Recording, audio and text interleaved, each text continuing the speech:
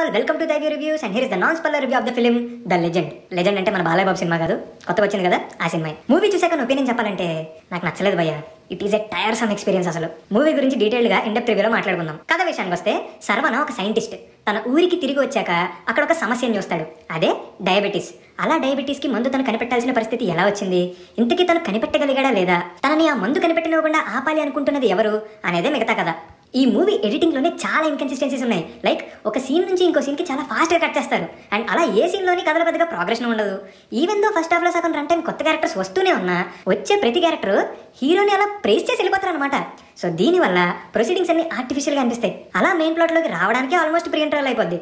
ఇలా run time మొత్తం just character ఇంట్రోస్కి లవ్ ట్రాక్కి యూస్ చేశారు.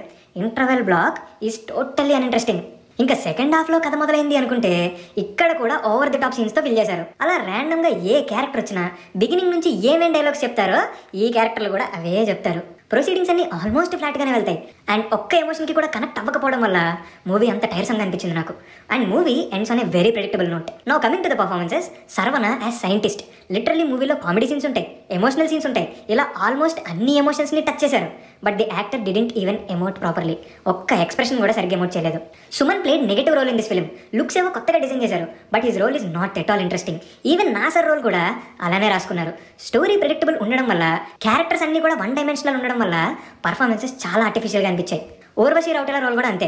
సాడ్లీ లేట్ యాక్టర్ వివేక్ గారి లాస్ట్ ఫిలిం ఇదే అనుకుంటా. ఈవెన్ ఆయన కామెడీ కూడా గొప్పగా అనిపించలేదు. కమింగ్ టు టెక్నికాలిటీస్ ఈ మూవీకి మంచి టెక్నీషియన్స్ వర్క్ చేశారు. బట్ స్టోరీలోనే ఎమోషనల్ డెప్త్ లేకపోవడం వల్ల technicalities didn't help at all Harris Jayaraj songs are okay but ఆ సాంగ్స్ ప్లేస్మెంట్ ప్రాపర్గా లేదు. ఏదో ర్యాండమ్గా వచ్చేస్తున్నట్టు ఉన్నాయి పాటలన్నీ. Velraj cinematography is decent production values కూడా ఓకే ఓకే ఉన్నాయి. Coming to writer director. Jerry screen ప్లేలో ఎన్నో ఇన్కన్సిస్టెన్సీస్ ఉన్నాయి. లిటరలీ ఒక సీన్ నుంచి ఇంకో సీన్కి కట్ చేస్తున్నప్పుడు కథలో ప్రోగ్రెషన్ అనేది ఎక్కడ ఉండదు. రాసుకున్న క్యారెక్టర్స్ అన్ని వన్ డైమెన్షనలే ఇంకా most of the time characters అన్ని సర్వనాన్ని ప్రేస్ చేస్తూ ఉండడం వల్ల కంప్లీట్గా ఆర్టిఫిషియల్ ఫీలింగ్ వచ్చింది. ఎంచుకున్న పాయింట్ని ఎక్కడ కూడా ప్రాపర్గా రాసుకోలేదు. ఇన్ఫాక్ట్ ఫైట్ సీక్వెన్సెస్ కానీ ఎమోషనల్ సీక్వెన్సెస్ కానీ రివీల్స్ కానీ చాలా ఇంట్రెస్టింగ్గా రాసుకున్నారు. ఫైనల్ వర్డ్ ఏంటంటే flat narrative game year really really tiresome experience